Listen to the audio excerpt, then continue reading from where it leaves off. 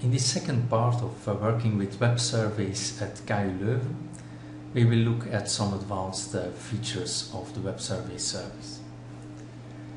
I will use for this an already uh, completed survey uh, where we asked students of cultural studies, alumni students, to give us feedback on their study at KU Leuven. Now, first highlight some elements in the interface. So with this home, you go to the first page, to the home of the administrative interface. Here on the question mark, you can invoke a window with the LimeSurvey documentation in several languages. And then uh, something important here, you have the link towards your published survey and with this button I can publish it or stop the survey of being available. With this button I can edit the surrounding text elements and I will invoke it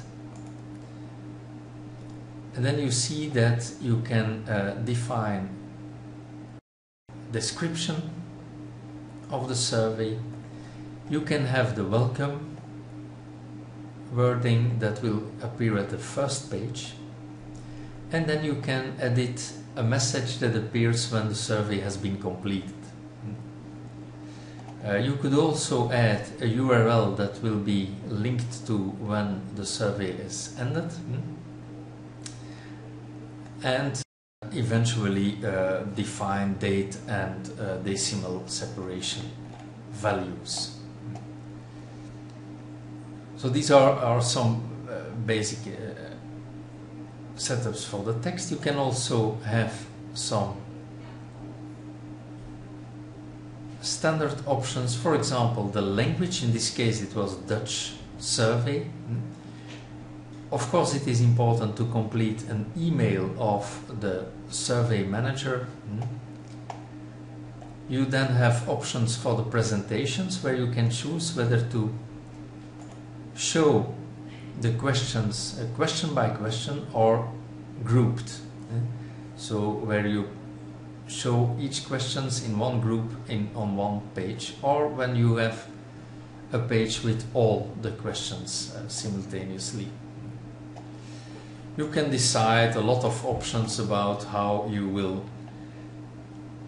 proceed you can uh, decide also whether the, the respondents can access the statistics.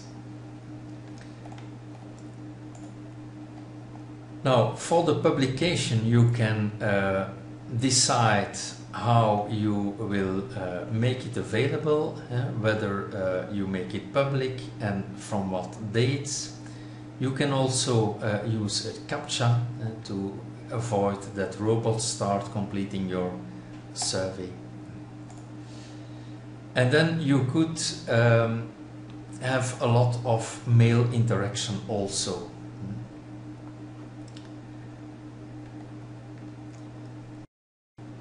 You can also indicate whether the respondent can stop completing the assignment and can come uh, the um, survey and can come back at a later time.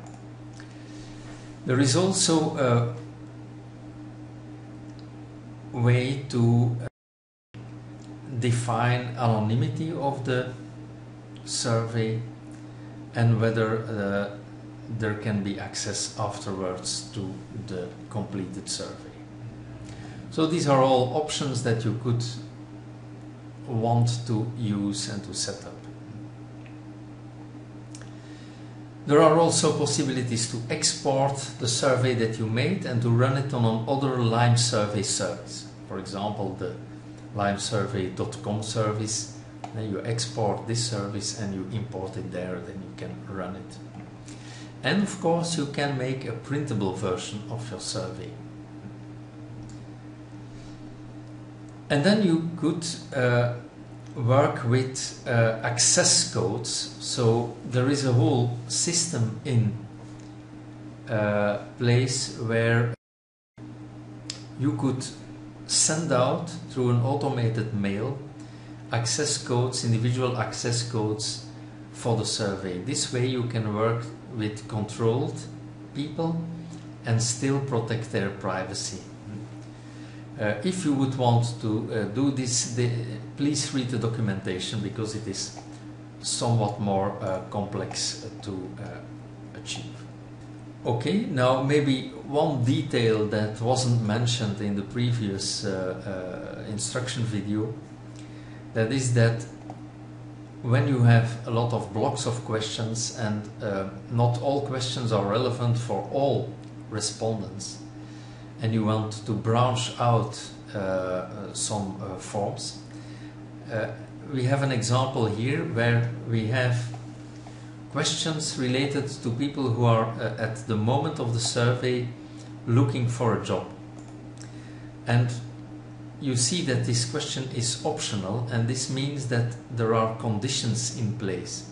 This symbol is used to provide in those conditions. So when I click here, you will see that there is a condition that this question will only be shown when the question what has happened after you graduated from cultural studies has been answered by I am still looking for work.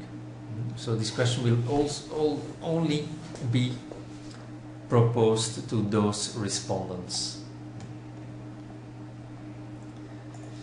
I'll uh, go back now and uh, highlight some of the possibilities uh, once your survey is running.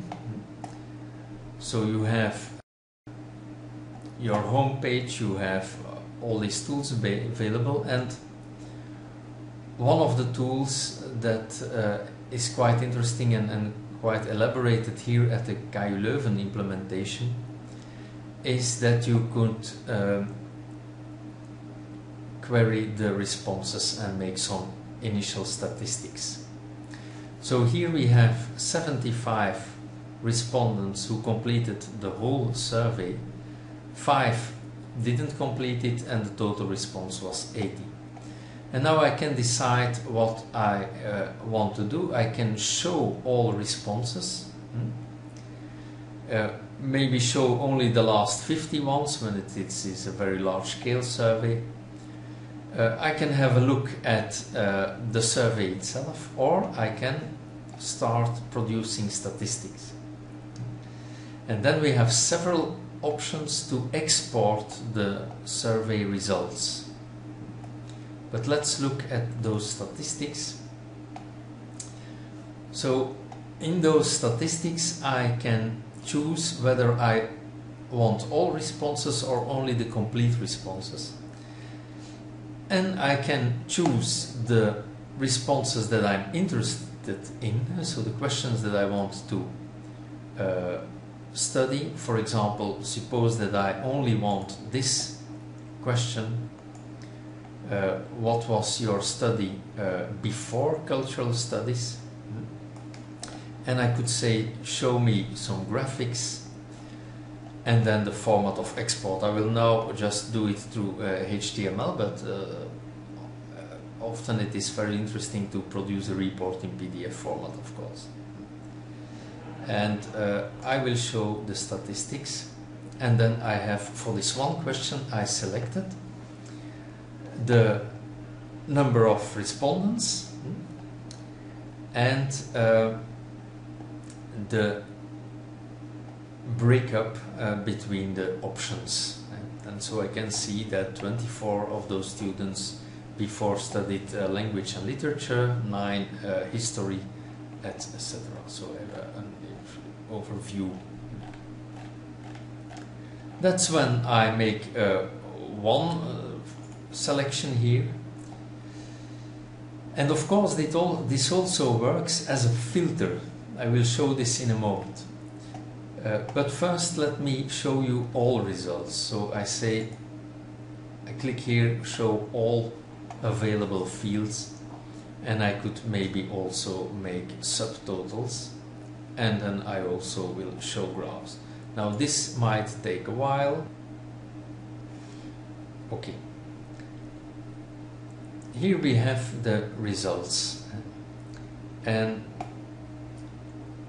I have the first question with a detail, a breakup, the pie, second question, and so on. So I get the full report with available data.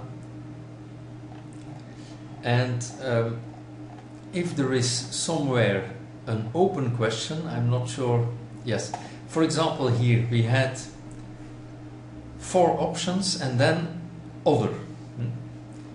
So I, I uh, continued studying, I'm looking for a job, I found a job, or I took a sab sabbatical, or something else. And one respondent completed this, so I can then call a little window where I have the response of this one respondent, respondent number, and what he told. And essentially, he states here that he is working but also continued to study. That is the idea. So you have a complete uh, report in one uh, web page. But it becomes interesting when you use the profile question to split up the results and to look into the results for a partial group. For example, suppose that um, when that I want to limit uh, the statistics about those who are still looking for a job. So I'm clicking here for a filter. So I will now see the results of everything, but only for the respondents that indicated that they still are looking for a job. And that, that moment is where only five people. And now I can zoom in what was their uh, previous study and I get all the statistics on all questions but limited to this subgroup. And this makes it, of course, very interesting. Uh, and certainly interesting to have these profiling questions because I can always also combine them.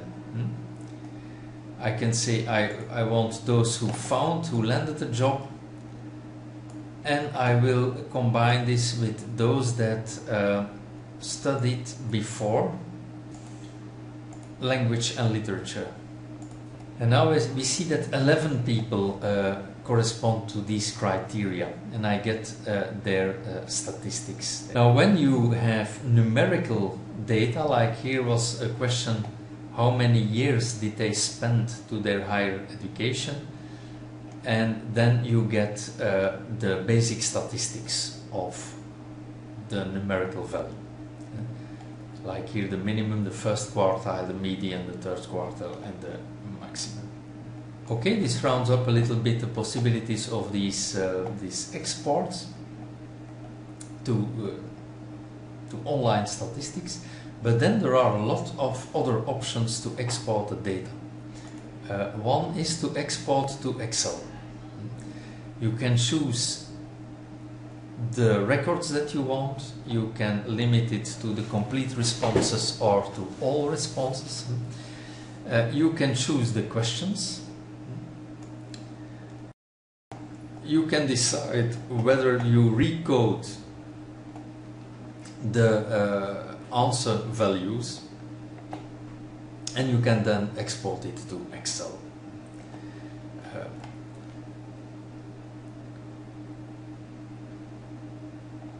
You will then get a file, I will do here an export and it will, will provide me with uh, an Excel file. I will open it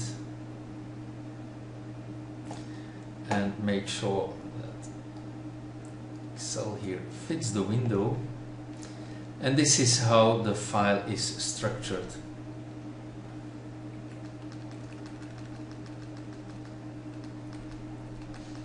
Now you will notice that when you make a question where students can, uh, can uh,